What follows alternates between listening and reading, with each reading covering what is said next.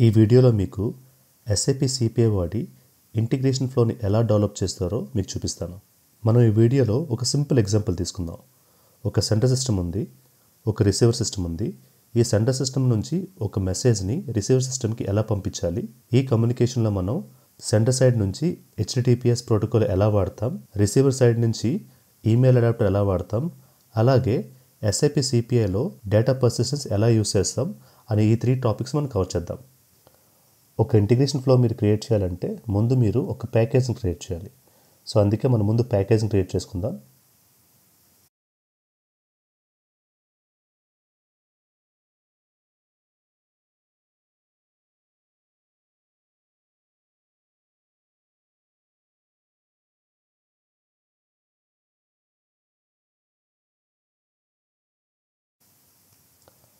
ఆ package create చేసిన తర్వాత మనం ఆ ప్యాకేజ్కి మనం డిఫరెంట్ ఆబ్జెక్ట్స్ని యాడ్ చేసుకోవచ్చు. సో మనం ఈ డెమోలో ఒక ఇంటిగ్రేషన్ ఫ్లోని క్రియేట్ చేద్దాం.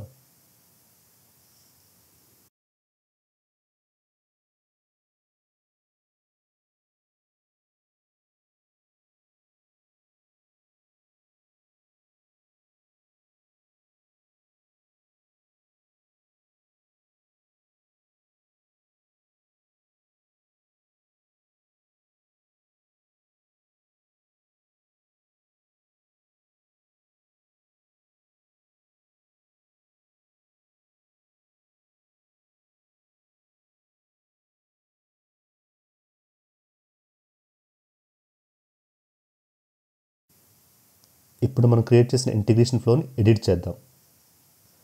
ఇప్పుడు మీరు చూస్తున్న స్క్రీన్ని వెబ్ యూఐ అంటారన్నమాట. ఇక్కడ మనం ఐఫ్లోస్ని క్రియేట్ చేయొచ్చు. మీరు చూసినట్టయితే ఇక్కడ మనకు ఒక సెంటర్ సిస్టమ్ ఉంది ఒక రిసీవ్ సిస్టమ్ ఉంది మధ్యలో ఇంటిగ్రేషన్ ప్రాసెస్ ఉంది. సో ఇంటిగ్రేషన్ ప్రాసెస్లో ఒక start event and end event ఉంటుంది. సో ఇప్పుడు మనం ఈ సెండర్ అండ్ రిసీవర్ మధ్యన మెసేజ్ ఎక్స్చేంజ్ ఎలా క్రియేట్ చేయగలమో చూద్దాం.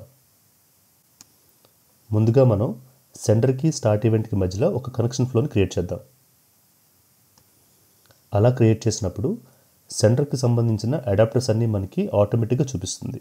మనం ఈ సినారియోలో హెచ్టిటిపిఎస్ అనే అడాప్టర్ని వాడుకుందాం. మీరు సెలెక్ట్ చేసిన అడాప్టర్ టైప్ బట్టి మనకి కింద ప్రాపర్టీస్ మారిపోతూ ఉంటాయి. ఇప్పుడు మనం హెచ్టిటిపిఎస్ సెలెక్ట్ చేస్తాం కాబట్టి దాని తాలూకా సెట్టింగ్స్ చేంజ్ చేయాలి. ఇక్కడ మనం అడ్రస్ వచ్చేసి డెమో ఐఫ్లోని ఇద్దాం.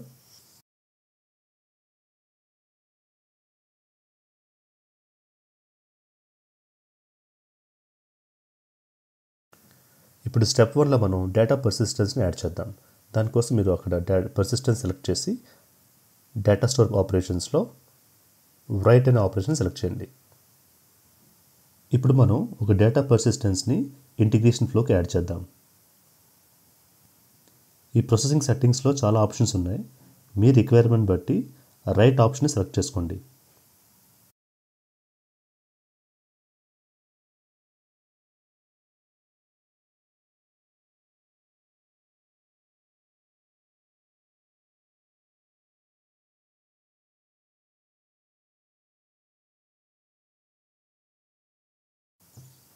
స్టెప్ వన్లో మనకి రిసీవర్ అవసరం లేదు కాబట్టి నేను ఇక్కడ రిసీవర్ స్టెప్ని డిలీట్ చేస్తున్నాను.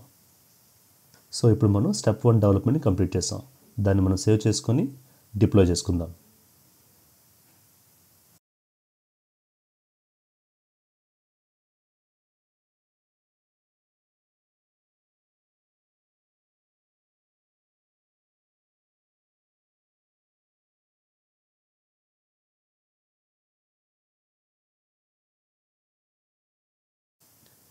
మీ ఇంటిగ్రేషన్ ఫ్లో డిప్లాయ్ అయిందో లేదో మీరు ఎలా చూస్తారు అంటే మీరు ఆ ఎడిటర్ని క్లిక్ చేస్తే కింద మీకు ఇంటిగ్రేషన్ ఫ్లో ఆప్షన్స్ వస్తాయి.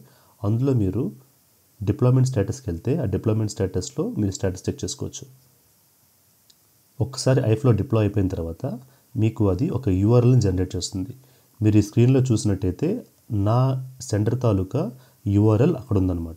సో మీరు చూసినట్టయితే ఎండ్లో డెమో ఐఫ్లో ఉంది. ఈ యూఆర్ఎల్ యూస్ చేసుకొని మీరు ఎస్ఐపి సిపిఐ ఇంటిగ్రేషన్ ఫ్లోకి ఒక మెసేజ్ని పంపించవచ్చు హెచ్డిటిపిఎస్ ప్రోటోకాల్ వాడి ఇప్పుడు మీరు యూఆర్ఎల్ని కాపీ చేసుకోండి. ఇప్పుడు ఈ యూఆర్ఎల్ మీరు ఒక పోస్ట్మెన్ వాడి లేకపోతే సోప్ యూఐ అనే టూల్ వాడి మీరు ఇంటిగ్రేషన్ ఫ్లోకి ఒక మెసేజ్ని పంపించవచ్చు ఈ డెమోలో నేను పోస్ట్ మ్యాన్ వాడుతున్నాను. మీరు ఈ డెమోలో చూపించినట్టు ఆ యూఆర్ఎల్ని పైన ఉన్న బాక్స్లో పెట్టి user ID and password enter చేయాలి. మీరు ఇంటిగ్రేషన్ ఫ్లోతో లేకపోతే ఎస్ఐపి సిపిఐతో కమ్యూనికేట్ చేయాలి అంటే మీకు ఒక యూజర్ ఐడి పాస్వర్డ్ కావాలి. ఆ యూజర్ ఐడి పాస్వర్డ్ మీకు ఎలా వస్తాయి అంటే ఎస్ఐపి సిపిఐ సిస్టంలో మీరు ఒక సర్వీస్ ప్రిన్సిపల్ అయిన ఒక ఆబ్జెక్ట్ని క్రియేట్ చేయాలి. ఆ ఆబ్జెక్ట్ క్రియేట్ చేసినప్పుడు మీకు ఆ ఆబ్జెక్ట్ నుంచి వచ్చిన యూజర్ ఐడి పాస్వర్డ్తో మీరు సిపిఐతో కమ్యూనికేట్ చేయొచ్చు. నేను వేరే వీడియోలో ఒక సర్వీస్ ప్రిన్సిపల్ని ఎస్ఐపి సిపిఐలో ఎలా క్రియేట్ చేస్తారో మీకు చూపించాను. దయచేసి ఆ వీడియో వాచ్ చేయండి. పోస్ట్ మ్యాన్ నుంచి వేరే మెసేజ్ని పంపిస్తున్నాను.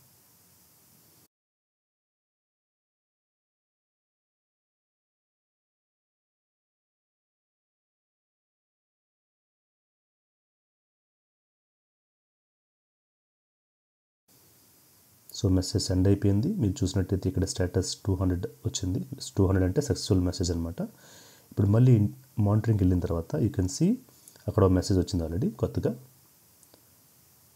సో ఇక్కడ మనం స్టేటస్ చూడొచ్చు లాగ్స్ చూడొచ్చు ప్రాపర్టీస్ చూడొచ్చు. ఇప్పుడు మనం ఆ డేటా స్టోర్కి వెళ్ళి ఆ పర్సిస్టెన్స్లో మెసేజ్ ఏం స్టోర్ అని చూద్దాం. సో మీరు చూసినట్టయితే ఆ పర్సిస్టెన్స్లో ఒక మెసేజ్ స్టోర్ అయింది. మీరు దీన్ని డౌన్లోడ్ చేసుకోవచ్చు. డౌన్లోడ్ చేసుకున్న తర్వాత మీరు అసలు ఏం మెసేజ్ అక్కడ స్టోర్ అయిందో కూడా చూడొచ్చు. సో మీరు చూసినట్టయితే చూసారా? నేను ఇప్పుడు ఏ ఏ మెసేజ్ అయితే ఉంది అక్కడ? సో ఇప్పుడు మనం ఏం చేద్దామంటే సెకండ్ స్టెప్ ఒక రిసీవర్ని యాడ్ చేద్దాం.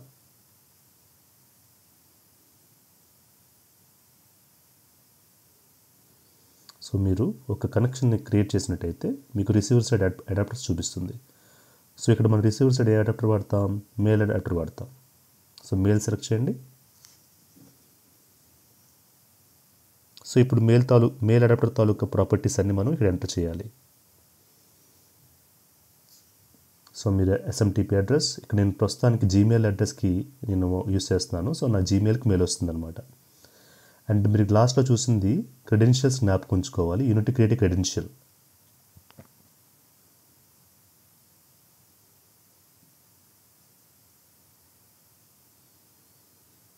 ప్రాసెసింగ్లో ప్రాపర్టీస్లో వచ్చేసి from email ID to email ID ఇచ్చేసి సబ్జెక్ట్ ఒకటి పెట్టి సో ఆ బాడీ ఆటోమేటిక్గా మీకు మెసేజ్ నుంచి వస్తుంది అది.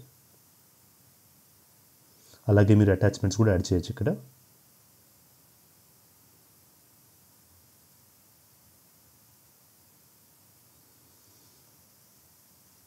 సో ఇప్పుడు దాన్ని సేవ్ చేసుకొని డిప్లాయ్ చేసుకోండి.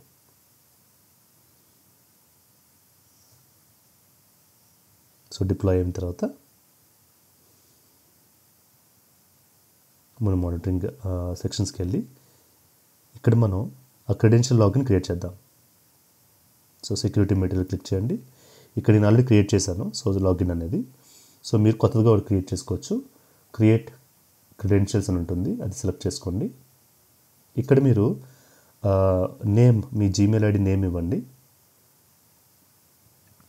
యూజర్ ఐడి పాస్వర్డ్ వచ్చేసి మీరు మీ జీమెయిల్లో యాప్ ఆథరేషన్ అనే కాన్సెప్ట్ ఉంటుంది. సో మీరు గూగుల్లో సెర్చ్ చేస్తే how to create app authentication in Gmail అని కొడితే మీకు ఒక లింక్ వస్తుంది. ఆ లింక్ ఓపెన్ చేస్తే అక్కడ లింక్ వాడి మీరు ఒక యూజర్ ఐడి పాస్వర్డ్ని జనరేట్ చేయొచ్చు.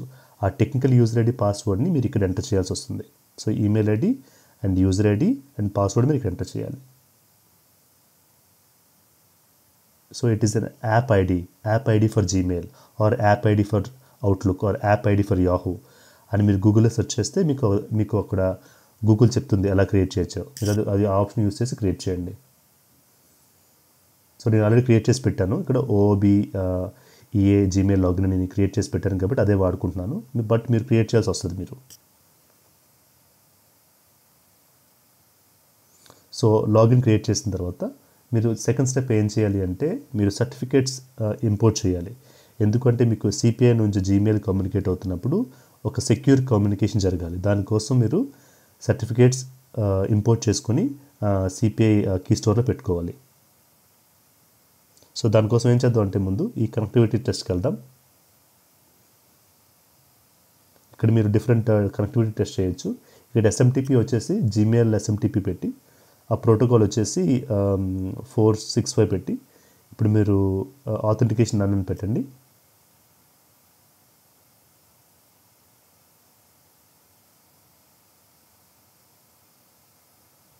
సెండ్ అని పెట్టిన మీరు ప్రెస్ చేస్తే మీకు ఆటోమేటిక్గా కనెక్షన్ ఎస్టాబ్లిష్ అయ్యి మీకు జీమెయిల్ తాలూకా సర్టిఫికెట్స్ అన్ని మీకు ఇంపో ఇంపోర్ట్కి ఇక్కడ చూపిస్తుంది. So you can see all the certificate chain అనమాట మీరు ఈ సర్టిఫికేట్స్ డౌన్లోడ్ చేసుకొని మీరు ఈ సర్టిఫికేట్స్ మీరు ఎస్ఐపి సిపిఐ కీ స్టోర్లో ఇంపోర్ట్ చేయాలి.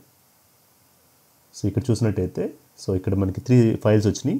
ఈ ఫైల్లో ఒకటి CA certificate and last the Gmail certificate ఈ రెండు ఇంపార్టెంట్ మనకి. ఈ రెండు మీరు సిపిఎల్ ఇంపోర్ట్ చేయాలి.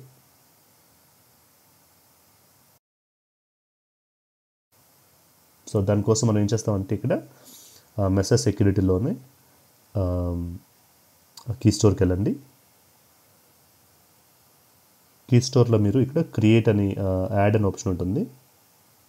యాడ్ సర్టిఫికెట్ సో మీరు ఇక్కడ టూ సర్టిఫికెట్స్ యాడ్ చేయాలి. The first one and third one so ఒక పేరు పెట్టండి. ఆ ఫైల్ సెలెక్ట్ చేసుకొని ఆ రెండు ఇంపోర్ట్ చేసుకోండి. నేను ఆల్రెడీ ఈ డెమోలు ఇంపోర్ట్ చేశాను. అందుకే మీరు చేయవసరం లేదు. మీరు లిస్ట్లో చూసినట్టయితే బ్యాక్గ్రౌండ్లో first two entries G one CA and SMTP ఆ రెండు ఎంట్రీస్ ఆల్రెడీ నేను క్రియేట్ చేసి పెట్టాను.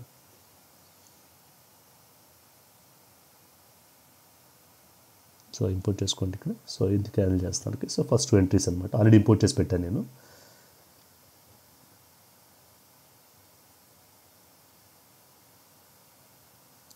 సో ఇప్పుడు మనం ఏం చేద్దామంటే మళ్ళీ పోస్ట్ మ్యాన్కి వెళ్ళి పోస్ట్ మ్యాన్లో మళ్ళీ నేను కొత్త మెసేజ్ ఇస్తున్నాను. సో బాడీ పెడుతున్నాను కొత్తది. So by email ID to my inbox yeah and send ఇప్పుడు ఏం జరగాలి అంటే ఈ మెసేజ్ మనకి సిపిఐకి వెళ్తుంది. సిపిఐ నుంచి మనకి ఈమెయిల్ అడాప్టర్ నుంచి రిసీవర్ అంటే నా జీమెయిల్కి రావాలి. So let's see what happens oh sorry ఇక్కడ ఒక ఎర్ర వచ్చింది. సో దట్స్ గుడ్ సో ఇప్పుడు ఎర్ర ఏం చెప్తుందంటే ఇక్కడ could not connect to SMTP host అని చెప్తుంది. ఎందుకు ఇలా చూపిస్తుంది అంటే మీరు ఇంటిగ్రేషన్ ఫ్లోకి మళ్ళీ వెళ్ళండి. ఇక్కడ నేను ఏం చేశాను అంటే ఇక్కడ ప్రొటెక్షన్ వచ్చేసి టీఎల్ఎస్ అని పెట్టాను. మీరు ఎస్ఎంటీపీఎస్ అని పెట్టాలి. సో మళ్ళీ సేవ్ చేయండి. సో మరి డిప్లాయ్ చేసుకోండి. మీరు ఏం చేయాలన్నా ముందు డిప్లాయ్ చేయాలి. Then then only the artifact reflects in the run time నా ఇది డిప్లాయ్ అయిపోయింది. ఇంకా లేదు. ఇప్పుడు నా డిప్లాయిడ్ అండ్ స్టార్టెడ్ నా let me go back to the postman okay ఇక్కడ మనం ఏం చేద్దాం మళ్ళీ uh, సెండ్ చేద్దాం. సెండ్ చేసిన తర్వాత మనకి ఈమెయిల్ రావాలి.